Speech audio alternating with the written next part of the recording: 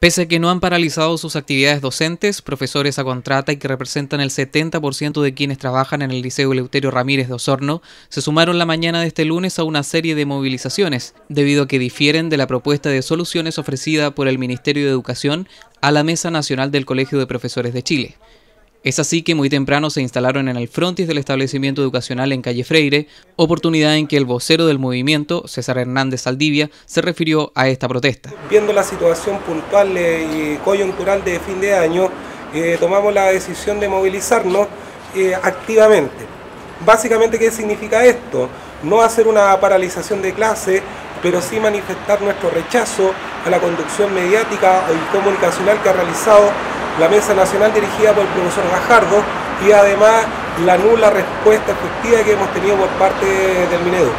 Hernández dijo que se trata del inicio de una serie de intervenciones ciudadanas, a través de las cuales manifestarán su molestia sobre la mala gestión del Colegio de Profesores como del Ministerio de Educación respecto de las exigencias que se manifiestan. La mesa comunal de Osorno, dirigida en este minuto por la señora Elba Vargas, eh, se ha manifestado en apoyo a la directiva nacional básicamente respaldando al profesor Gajardo.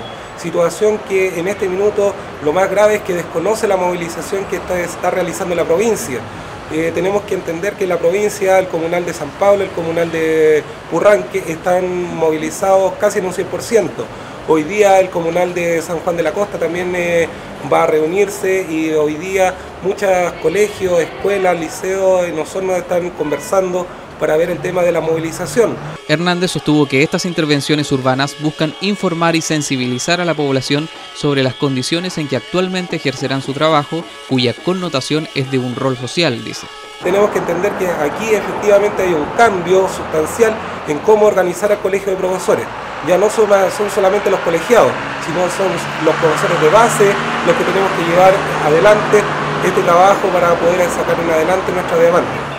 Para la directora del Lero de Osorno, Maritza Hurtado, existe un consenso en el establecimiento respecto de las demandas de los profesores, pero destaca la decisión de no paralizar sus actividades y solo realizar intervenciones urbanas. En realidad las movilizaciones de todos los profesores del liceo estamos eh, apoyando la legítimo petitorio que tienen los docentes y aprovecho esta oportunidad para agradecer a los profesores de este liceo porque ellos en realidad estuvieron siempre en un dilema eh, entre irse a paro indefinido o respetar ¿cierto? y apoyar la educación pública, que es lo que ellos están haciendo en este momento.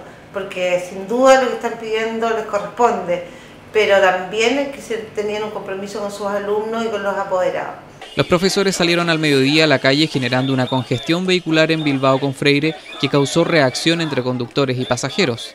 Sin embargo, tras algunos minutos regresaron a las aulas manifestando que seguirán expresando su disconformidad por la mala gestión del Colegio de Profesores como del Ministerio de Educación respecto de las exigencias con diversas intervenciones urbanas en Osorno.